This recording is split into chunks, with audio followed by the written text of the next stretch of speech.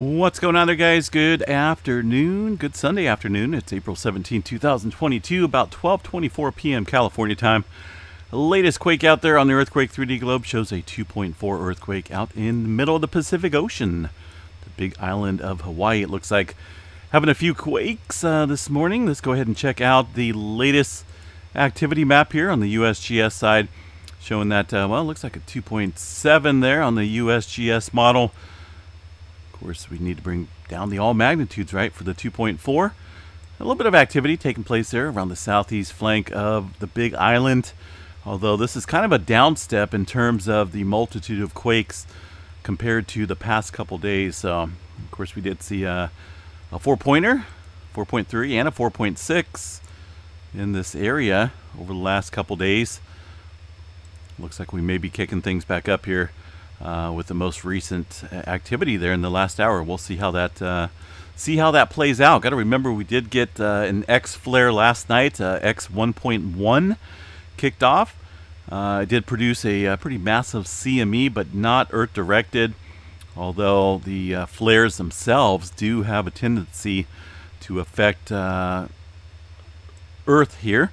we don't have to have a CME to hit us. The flare itself does provide us with some radio blackouts and uh, some other items, I'm sure. Uh, looking at the earthquake model, though, we haven't really seen any major uptick in movement. Uh, a little bit of activity here around the Tonga region, Vanuatu, and this little area here near the Loyalty Islands, southeast of there anyway. Uh, I've seen a 5.3. Most of this movement occurring uh, last night and early this morning. Quite a few fives uh, including a 5.8 coming into the region of the Vanuatu area. 199.4 kilometers for that earthquake. So a little bit of uptick, right, in uh, terms of earthquake activity. No major movement, but uh, definitely a noticeable trend in the uptick of activity worldwide uh, following that flare last night. Quite a few fours out here north of uh, Papua New Guinea, northwest, I should say. Uh, just offshore, it looks like quite a few fours kicking off.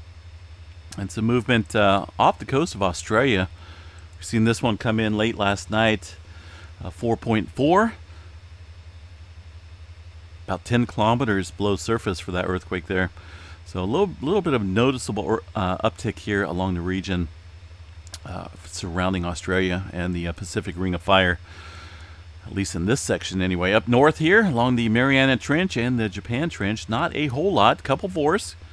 Pretty quiet, though, throughout the rest of the region through the north. Around the uh, Aleutian Islands, all pretty calm. This is the all magnitudes map here, too, so nothing really to report in the area. West Coast, California. Some movement here along the southern end of the Cascadia from yesterday, 2.0. And uh, a little bit of small quakes north of Clear Lake around the uh, Bartlett Springs fault system here. This is the uh, fault that uh, produced a, I think a 5.6, 5.7 uh, a few years back and kind of shook up the Northern California area. Felt that earthquake pretty good outside of Chico here. But uh, today, just a little microquake, 2.1 on that specific fault system. And down here in the uh, Mount Konocti area, south of Clear Lake, got the hydrothermal operations going on there with the uh, earthquake activity. Bay Area looks pretty quiet. San Joaquin Valley, not a whole lot going on through there. The creeping section of the San Andreas Fault has uh, slowed down a little bit compared to yesterday. We've seen a little swarm of movement here on this section, that segment of the San Andreas, San Andreas, right? Uh, I got to slow that down a little bit, or else it sounds like I'm saying San Andreas. But trust me, there is a uh, "an" in there. San Andreas, Ridgecrest, a little bit of activity kicking up here north of the Garlock fault zone up here around the mountain areas. Then again, not a whole lot though. I mean, this is just some movement, but uh, not. We're not looking at any major swarms. No, no increased seismic activity out here along the west coast. Maybe a. What do we got here? I don't, I don't know if I'd call that a little swarm. Just a couple earthquakes there outside of. Uh, uh, what is it? Anza area. Looks like west northwest of there of this town. That's it looks like about the closest town to this area. Pretty small microquakes, but down there about eight kilometers or so uh, below the surface. Rest of the country looking pretty uh, absent of movement. A little bit of activity here. This is kind of odd here. Seen three earthquakes south of San Antonio. Um, 3.2 looks to be the largest in this little sequence of quakes. I want to find out, see what's out there. I, I can only guess. I can only guess out there when I'm flying over that region at 30,000 feet. All the oil and gas wells out here in the state of Texas. And there's a lot of them. Look at all those. I'm sure uh, these are pretty much within feet of each other. These are all um, these pumping operations here, injection well um, operations from from the whole procedure. Not going to go into how it goes on, but uh, these quakes are definitely contributed and related related to the uh, operations going on there in Texas in that area. Terrain. Let's go back here to the terrain view eastern part of the country. Not not showing anything actually. New Madrid zone looks quiet. One or two earthquakes up here in the gas and oil fields of Oklahoma, and a couple spotty quakes throughout Montana and Wyoming. Let's go ahead and check out the Yellowstone overview. See if we got anything cooking up here on the uh, super volcano. Not a whole lot. Zip zero, nada. No quakes really to report. No swarms. No magma movement. No doom and gloom today from Yellowstone super volcano.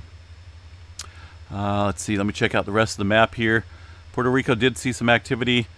Uh, kind of, let's see, let's bring up the all magnitudes here. A little bit of activity up around the Puerto Rico Trench. And of course, southwest uh, southwest region of Puerto Rico, still seeing that little swarm that uh, has been ongoing for oh, a number of years now.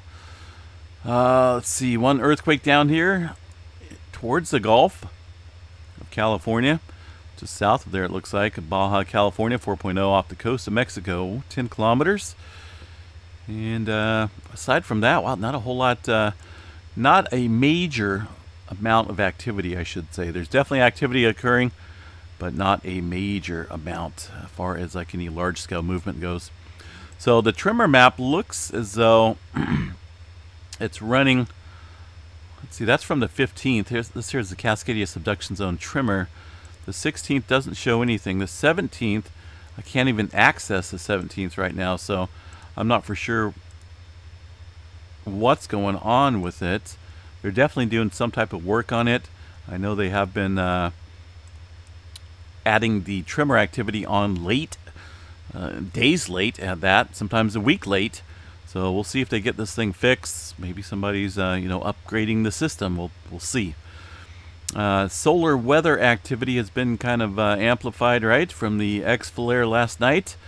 Current solar flare detection chart here over last minute data, one minute data. There's the X 1.1 last night. It has since died down a little bit. We've seen a couple C flares crackling here. Looks like it's getting ready to produce a uh, uh at least another M flare with these crackling and popping, so to speak. You know, it's kind of like popcorn when you hear it sizzling uh, in the microwave or on a pan, however you cook it. You know, it's it's getting that hot, sizzling sound, uh, and then all of a sudden pop. Right, so you start hearing it pop. Kind of kind of reminds me of that. So that's from the uh, Sunspot. Uh, former Sunspot 2975, right? So this is the old Sunspot that produced an X flare a couple weeks ago for us. Well, it rounded the bend, it rounded the uh, sun, coming back into the Earth view and it has been renamed 2994. But you got to remember that 2975 is its former self, and it's not going out without a bang. Apparently, uh, looking at the chart here, I wish we could get a better view of this, but man, that that is a massive, huge sunspot, and just by looking at it a little bit, the the dynamics of it look pretty uh, enhanced for for definitely some M flares and possibly some more X flares over here uh, from this giant sunspot. I mean, it almost looks like just one, but uh, these guys are showing two. The old one, 2975, which is now this one, and then uh, this 2993 uh, developing into just a, a giant sunspot with uh, quite a bit of possibilities here in the coming days for producing more X flares. Uh, here's a little bit, little bit better view of it. But uh, we'll see as this thing comes into view and see if it wants to provide us with something spectacular in terms of any upper X flares. We'll see uh, see how that does. It looks like these guys are getting on with the ball today, right? They only had this at a I think 10% chance last night, and I kind of mentioned that uh, that's a little bit on the low side. I think we need to up that up a little bit, and it looks like they may have. Um, well, probably didn't take my words, but they probably uh, looked into it and thought, well, yeah, we probably should raise this up. This thing's producing X flare, so 25% chance of an X flare, um, M flare at 75% chance, uh, C flare at 99% chance. I think these are pretty reasonable for now uh, until we get a better view of the dynamics of the uh, magnetic fields in the sunspot itself, in the sunspots in that giant uh, region uh, in the coming days. So. Uh, like I said, right now though it is crackling with some upper C flares and possibly getting ready to pop some more popcorn here for the show and produce us another M or maybe even an X flare. So we'll see and produce that uh, the uh, the energy there. That uh, I think that I don't know. I've I've been kind of I'm kind of a big fan of solar weather in terms of activity. You know, I love the sun. I love being outside, but I like the sunspot activity. When we're very low, there's not a whole lot go that goes on on the sun. As far as flaring goes, and I, I just like the activity. I think it plays a major part on uh, what goes on here on Earth, the energies here on Earth. I think it plays a part in earthquake activity as well, uh, volcanic activity, uh, and just in general how it affects life here on Earth, the weather, us, um, believe it or not, I think I think it does. I think the sun plays a major part in all of that. Uh, let's see here. So right now the geomagnetic field looks pretty uh, mellow, not completely down there. Looks like about three on the KP index, and um, a little bit of storming over the next couple nights. It looks like uh, at least a G3 to G4 storm, and that's currently in that threshold. So look for that at the higher latitudes. Only a 40% chance there for the folks way up there.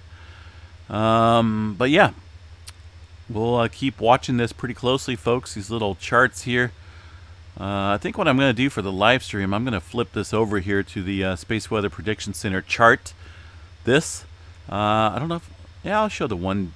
We could do, uh, trying to think, one one day data.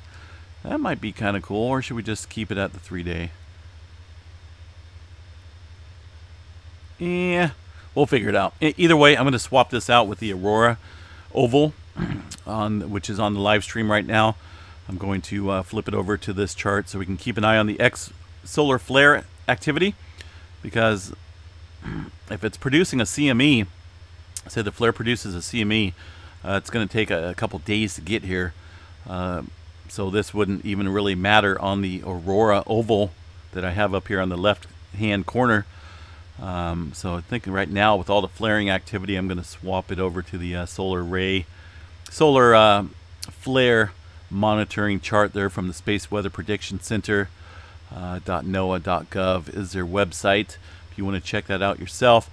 But uh, we will be popping that up here on the live stream. All right, guys, um, I'm going to jump off here. Hope everyone enjoys their day. Happy Easter out there. 30, uh, 75 degrees today here in California.